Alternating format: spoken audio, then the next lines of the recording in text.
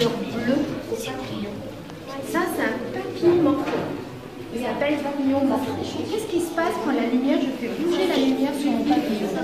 Ça brille. Au niveau de la couleur, qu'est-ce qui se passe au niveau de la couleur du papillon? Elle change de couleur. Et elle change de couleur parce que la lumière, quand elle vient sur des petites structures comme ça, eh ben elle change de